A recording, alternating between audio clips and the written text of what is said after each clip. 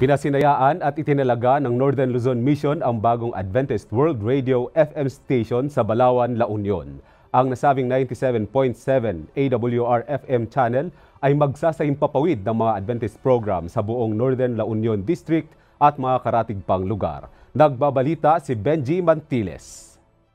dito sa Balawan, La Union at kasalukuyan po na ginagawa po natin ang inauguration ng ating radio station dito sa 97.7 FM Balawan. Sa nangyayaring kaganapan sa ating lipunan, ang mga balitang may kinalaman sa mga karasan, pagkagutom, digmaan at mga salot na nagdudulot ng kamatayan sa mga mamamayan.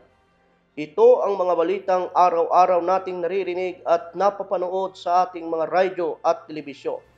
At ito'y nagdudulot ng pagkabalisa ng bawat nakakapakinig at nakakapanood sa mga balitang ito. Di pa nakakita kiti AWR is the best way to effectively reach the people's heart. Because I'm so glad that uh, God provided us blessings that we can share to, to His work. And I know that this is God's work and God will be glorified in all our undertakings for Him.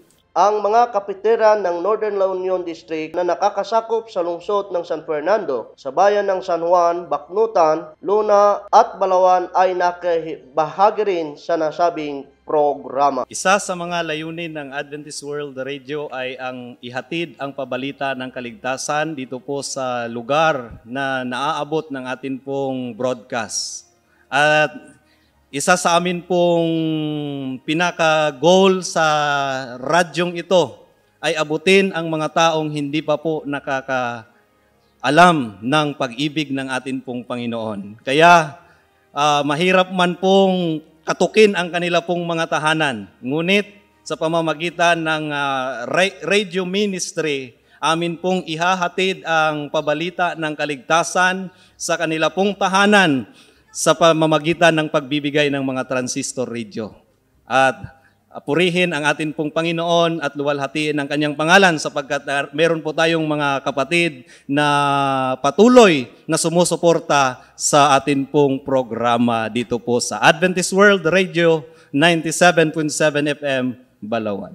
Maraming salamat po dahil nagkaroon po ng AWR dito sa Balawan at nagiging ah, ah, tagapakinig po ako ng ah, AWR na ito at ah, nagiging ah, tumibay ang aking pananampalataya dahil po sa aking mga nak- naririnig sa radyo tungkol sa pag ah, ah, handle sa pamilya at tungkol sa pangangalaga sa kalusugan. Kaya nagpapasalamat po ako at laking tulong po ang AWR sa akin at sa aking pamilya at sa komunidad. AWR 360 from Broadcast. Layuning maghatid ng balitang may pag-asa, ito po ang iyong lingkod, Benji Mantilis, para sa NPOC News.